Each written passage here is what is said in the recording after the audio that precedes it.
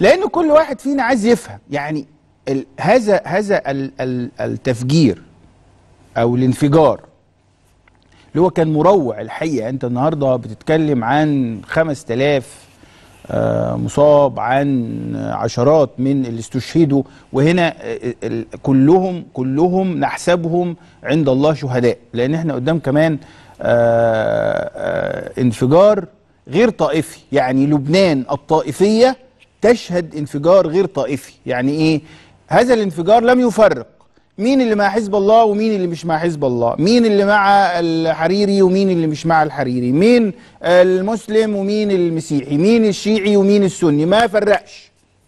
ما فرقش. هذا التفجير ال- المفزع ما فرقش. حصد أرواح عشرات من ال- اللبنانيين وأصاب آلاف من اللبنانيين وشرد عدد كبير جدا من اللبنانيين. الخراب الخسائر المقدرة الأولية من 10 إلى 15 مليار آه، دولار. يعني اللي هو أنت بتتكلم على بيروت بقت إيه؟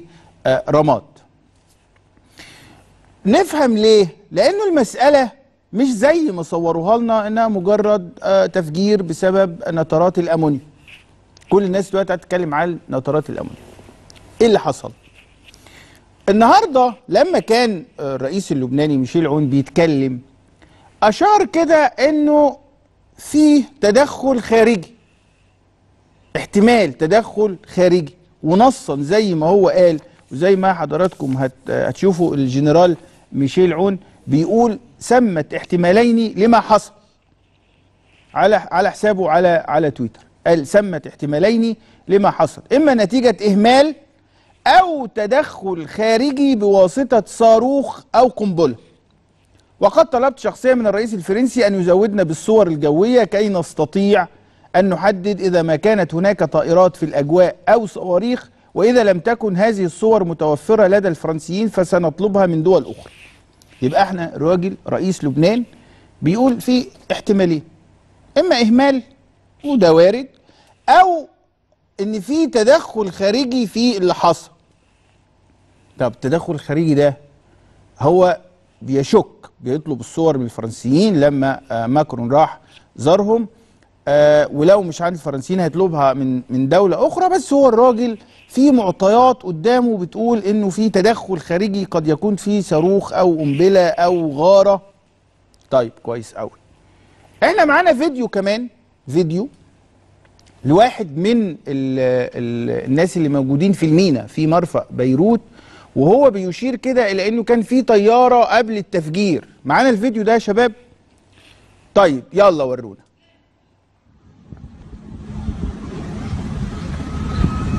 من شي دقيقة صار في إطلاق بالأحرى طيارة عملت خارتين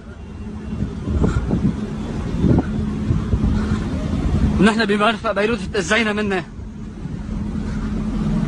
صار هلا آه طيارة عملت غارة رجعت طيارة تانية عملت غارة تانية ببيرو- ببيروت. نحن تأذينا منه صراحة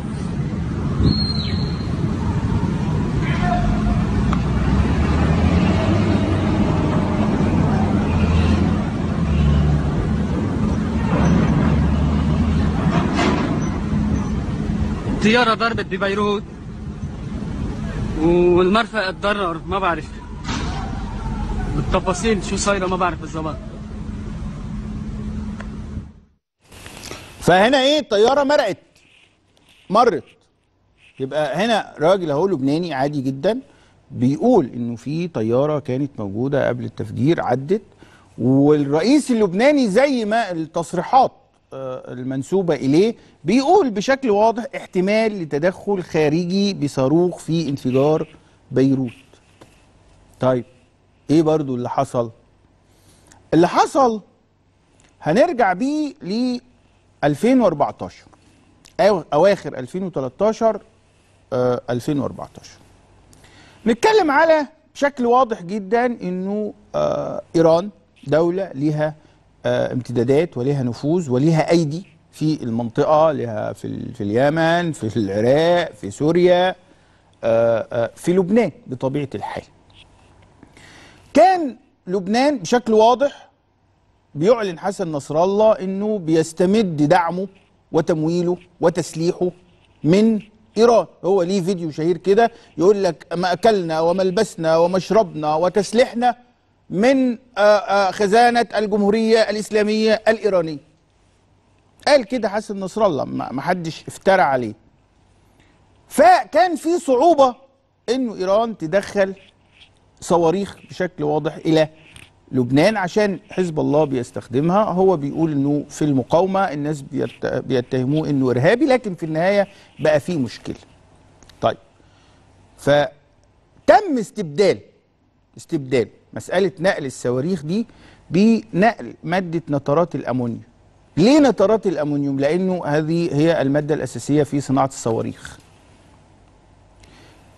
المادة الأساسية في صناعة الصواريخ. طيب إزاي تدخل ما هو مش قادر يدخل صواريخ فمش هيبقى قادر يدخل نترات الأمونيا بسهولة لبيروت فاللي حصل إيه تظهر هنا عندنا جورجيا ليه تظهر جورجيا؟ لأن جورجيا من الدول الأساسية في تصنيع نترات الامونيا طيب هينقلوها إزاي؟ هيجيبوها إزاي من جورجيا يدخلوها آه إلى بيروت؟ تمت صفقة بمقتضاها. تم شراء 2750 طن 2750 طن نترات أمونيوم من جورجيا وطلعت على سفينة اللي هي السفينة اللي كله قاعد يقول لك اسمها روسفوس دي طلعت من جورجيا متجهة إلى موزمبيق. مين اللي باع في جورجيا؟ حتى هذه اللحظة محدش يعرف. طب مين اللي اشترى في موزمبيق؟ محدش يعرف. هذه السفينة وهي شايلة خلي بالكم 200 2750 طن نترات أمونيا وهي متجهة من جورجيا لموزمبيق عدت على ميناء بيروت. لما دخلت ميناء بيروت قال لك السفينة عطلت فيها عطل. فوقفت. وهي عطلانة أو ادعاء إن هي عطلانة وقفت. ظهر ظهر آه إشكال قانوني بين مجموعة من الدائنين اللي محدش يعرف برضو دول مين على هذه السفينة. فبقى في مشكلة هنا قانونية. السفينة عطلانة. وواقفة في ميناء بيروت وعليها 2750 طن نترات أمونيا. وعليها مشكلة قانونية. طيب لما عليها مشكلة قانونية إيه اللي يحصل؟ فلازم نروح بإشكال قانوني إلى قاضي الأمور المستعجلة. قاضي الأمور المستعجلة. قاضي الأمور المستعجلة ده المفروض يعمل إيه؟ في سفينة. عليها 2750 طن نترات أمونيوم مادة خطيرة جدا ومتفجرة وموجودة على سفينة عطلانة وفي خلاف قضائي فالراجل المفروض يقول لك والله السفينة دي تتصلح وتمشي. هنعمل بيها إيه؟ ملهاش علاقة. لكن طبقا للأوراق الرسمية بقى. القاضي ده عمل إيه؟ طلع قرار بيه لما راحوا له قالوا له يا سيدنا عندنا سفينة عليها 2750 الف- 2750 طن نترات أمونيا موجودة في المينا عطلانه وعليها خلاف قضائي. وعاوزين ناخد قرار. طلع هذا القاضي القرار باسم الشعب اللبناني اللي هو فيه جملة أهو القرار قدام. في في الورقة الثانية بقى جملة قال لك إيه؟ تعويم الباخرة موضوع الطلب بعد نقل البضائع الموجودة على متنها وتخزينها في مكان مناسب. ده القرار اهو اللي هو الله. طب انت دلوقتي مفروض السفينة دي بالحاجات اللي عليها اللي هي ما تخصكش مش بتاعت لبنان. دي ناس جايبينها من من جورجيا مودينها موزمبيق والسفينة روسية أو صاحبها آسف روسي. في بعض التقارير النهارده بتقول لك اسمها دي فتح الله وتركيا بس يعني إيه؟ ده ده موضوع تاني. إحنا هنا بنقول تصور بنبني التصور. فالقاضي قال لك نزلوا نزلوا ال 2750 آه، طن نترات أمونيوم دول نزلوهم المينا. طيب السفينه بعد كذا يوم من نزول ال- النترات الامونيا بنتكلم في 2014 من نزول النترات الامونيا دي المينا كذا يوم اتصلحت. وكذا يوم الإشكال القانوني بين الدائنين خلص قال لك اتصالحنا. فهذا القاضي قال لك تمشي السفينة. فخرجت السفينة وخرج الفريق بتاعها اللي هو بيشغلها من مينا آه، مرفأ بيروت وفضلت البضاعة اللي هم س- 2750 طن نترات أمونيا دول موجودين. كويس؟ في المينا. هنا لسه هم موجودين في المينا والسفينة مشيت. القاضي ده مين؟ خلفيته إيه؟ آه ما نعرفش. فده أعتقد التحقيقات ممكن تعمل ده بعد كده. طيب لأنه طب النترات هنا موجودة في المينا فصدر قرار إن هي تتنقل في المستودعات المرفأ رقم 249 كان إمتى ده؟ كان يوم 27 إبريل 2014 فدخلوها في المستودعات رقم 249 لما دخلت في المستودعات دي خلينا خلينا المستندات دي شوية. هنقول دي إيه؟ لما دخلت في المستودعات 249 اتنقلت بعد كده إلى عنبر 12 منين؟ من بوابة في مرفأ بيروت اسمها بوابة فاطمة.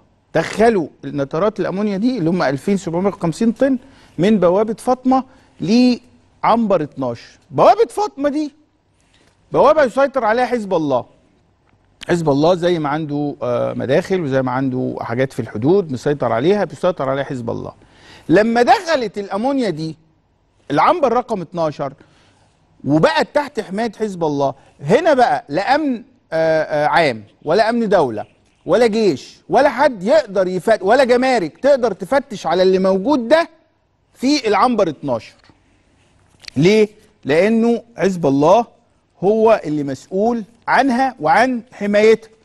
طيب بقى في عندنا هنا إيه؟ مواد متفجرة خطيرة جدا موجودة في عنبر 12. مدير المرفأ اللي هو بدر ظاهر بدأ يكلم يكلم قاضي الأمور المستعجلة ده ويبعت له طلبات يقول له يا فندم عندنا مواد متفجرة مش عارفين نعمل فيها إيه بعت له بعت له ليه بقى إيه المكتبات اللي هي قدام حضراتكم دي بعت له في ديسمبر 2014 وفي يونيو 2015 استعرضوا لنا هذه الأوراق. وفي أكتوبر 2016 وفي يوليو 2017 وفي ديسمبر 2017 وآخر مكاتبة ما بينهم كانت في فبراير 2018 بيقول له إيه في كل هذه ال ال المكاتبات؟ بيقول له قول لنا قرار إحنا عندنا 2000 2750 طن نترات أمونيا حاجات خطيرة جدا قول لنا. نسلمها للجيش نبيعها نتصرف فيها إزاي؟ إحنا عندنا أزمة كبيرة جدا. فلم يرد قاضي الأمور المستعجلة آخر مخاطبة أو مطالبة كانت في فبراير 2018 طيب الشاهد إيه بقى؟ طب الحكاية فإحنا هنا في حاجات من 2014 لحد ال ال يوم الثلاث اللي فات موجودة في عنبر 12 يوم 30 يوم الخميس 30 يوليو دخلت مرفأ بيروت مينا بيروت سفينة نزلت أسلحة اتخزنت في عنبر خمسة. في مسافة ما بين عنبر خمسة وعنبر 12 كويس؟ طيب. طبقا للمصادر اللي قالت لنا هذا الكلام وإذا صدق هذا الكلام ف والإشارة بتاعت رئيس لبنان إن في تدخل خارجي صاروخ جاي من بره. والراجل اللي كان بيتكلم في المينا ده إنه ممكن يكون في طيارات مرقت قبل التفجير. تظهر هنا إشارة إلى إسرائيل. تقول لي إيه إسرائيل؟ ليه؟ ما إسرائيل بقالها فترة هي وحزب الله عاملين اتفاق كده إيه؟ سلام. محدش يقرب من التاني. ومحدش يضرب في التاني. رغم إنه آه آه يعني بيضربوا في سوريا بس خلاص ما بيجوش جنب حزب الله. لكن هذه الأسلحة ال- ال- السفينة دي لما دخلت يوم الخميس يوم الثلاث طبقا للمصادر ال- ال- اللي اتكلمنا معاها قالوا إنه اتوجهت غارة تمت غارة على العنبر رقم خمسة اللي فيه الأسلحة اللي نزلت للمينا يوم ال- الخميس 30 يوليو 31 يوليو. طب إيه اللي جاب المشكلة؟ طب إسرائيل عملت ضربت هنا العنبر رقم خمسة اللي فيه أسلحة. إيه اللي يحصل بقى في العنبر رقم 12 قال لك النترات دي يعني بتنفجر بإما إشعال مباشر أو ماس كهربائي أو طاقة أو حرارة ناتجة عن انفجار قريبة منها. ففي الغالب اللي حاصل بقى دلوقتي إنه هذا هذا هذه الغارة اللي جت على عنبر خمسة ولدت هذه الطاقة أو هذه درجة الحرارة دي اللي وصلت لعنبر 12 فحصل هذا التفجير الكبير جدا طيب المصادر برضو بتقول إيه؟ إنه بعد التفجير على طول بعد التفجير اللي إحنا ما شفناهوش حتى الآن إنه تم الدفع بيه عناصر من حزب الله احاطت بيه هذا المكان ولم يمكنوا أحد من عناصر الأمن اللبناني أو من المسؤولين اللبنانيين إن هم يوصلوا أو آه، يقربوا من المكان. وخرجت شاحنات بعد شوية بكميات مختلفة. ليه بقى؟ لأنه اللي تم تفجيره في هذا ال- التفجير حوالي آه، آه، 300 300 طن. من كام؟ من 2750 أنتوا يعني التفجير اللي إحنا شفناه ده كله بفعل تفجير 300 طن من نترات الأمونيا فقط من إجمالي 2750 طن. فلو ال 2750 طن دول كانوا انفجروا يعني ما كناش عارفين إيه اللي هيحصل. فخرجت هذه الشاحنات. تقول لي طيب يا خفيف طب يعني آه انت بتتكلم هنا ان في اتهام لإسرائيل طب ما هو حزب الله ما قالش ان في إسرائيل. وختم إسرائيل مش موجود في العملية. ولو حزب الله شايف إن إسرائيل ممكن تكون عملتها كان هيطلع يقول مباشرة.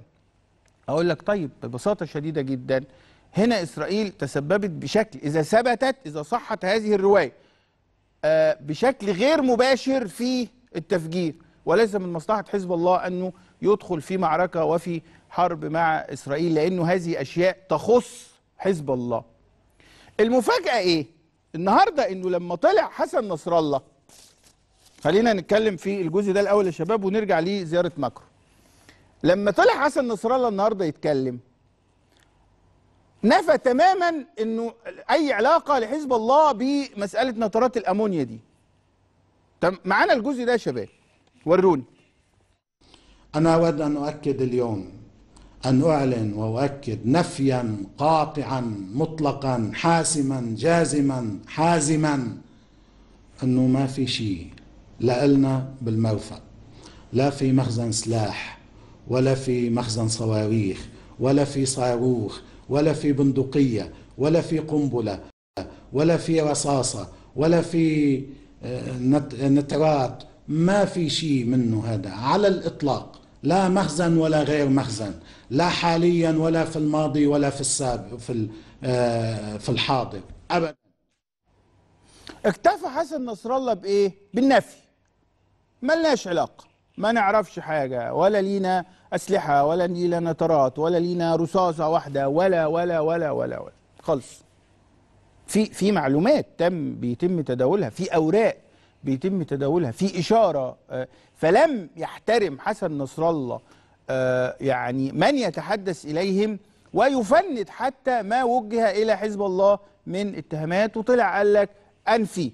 ويعني خلاص أنا ما فيش ملناش علاقة بالموضوع. خلاص ما عادش يكلمنا في ده. بل زاد على ذلك إنه اتهم الناس اللي بيتهموا حزب الله أو بي آه، حزب الله جزء من المسؤولية انه آه، هم ناس آه، يعني ما يفهموش حاجة في حرية الرأي وإن القنوات بتاعتهم لازم الناس تقاطعها ومحدش يسمع لهم و إلى آخره. وده طبيعي جدا من حسن نصر الله الناس بقى على شبكات التواصل الاجتماعي ردوا عليه بفيديو وهو بيتكلم عن شكل شكل الانفجار اللي ممكن تتسبب فيه نترات الأمونيا. كويس؟ يعني يعني هو الراجل طلع قال لك ملناش علاقة ما نعرفش ما شفناش. مفيش رصاصة مفيش نترات مفيش أسلحة ما مفيش. حزب الله مش موجود. فردوا عليه بفيديو في كلام سابق ليه سابق ليه بيتكلم عن شكل شكل الانفجار اللي ممكن تتسبب فيه نترات الامونيا سمعونا كده؟ قنبلة نووية بمعنى كم صاروخ من عنا زائد هول حاويات الأمونيا بحيفا نتيجتهم؟ نتيجة قنبلة نووية. طيب وبيقول لك إنه يجي كم صاروخ ينزلوا بهاي الحاويات بمنطقة يسكنها 800 ألف نسمة يقتل منهم عشرات الآلاف